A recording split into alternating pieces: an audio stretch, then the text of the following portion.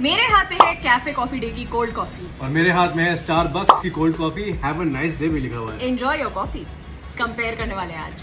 हमने ऑर्डर करी थी कैफ़े कॉफ़ी डे की सिग्नेचर कोल्ड कॉफ़ी जो टू फिफ्टी नाइन रुपीज़ की आई थी। मेरे और अर्जुन के थॉट्स बहुत डिफरेंट थे इस कॉफ़ी को लेके। थोड़ा ना filter coffee chilled filter coffee वाला टेस्ट आ रहा है इसमें। खांसी आ गई। थोड़ा सा बॉन्विटा टाइप लग रहा है मेरे को।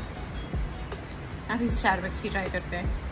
स्टारबक्स की कोल्ड कॉफ़ी आई थी टू नाइन्टी फाइव रुपीज़ की और क्वांटिटी एक्चुअली में कैफ़े कॉफ़ी डे जितनी ही लग रही थी। उसके बाद हमने इसे टेस्ट किया और फ्रेंडशिप डे के दिन हमने कॉफ़ी मंगाई थी तो स्टारबक्स के कप पे हैप्पी फ्रेंडशिप डे भी लिखा हुआ था। दोनों की प्राइस ऑलमोस्ट सेम है लेकिन मुझे पर्सनली स्टारबक्स वाली पसंद गई मेरे को भी बहुत टेस्टी है ये फॉर सम रीजन बहुत टेस्टी है। बस कैफ़े कॉफ़ी डे वाली थोड़ी सी कम स्वीट थी ये थोड़ी ज़्यादा स्वीट है बट टेस्ट वाइज ना ये बहुत टेस्टी है। जाते जाते हमारे चैनल को सब्सक्राइब करना भूलिएगा मत।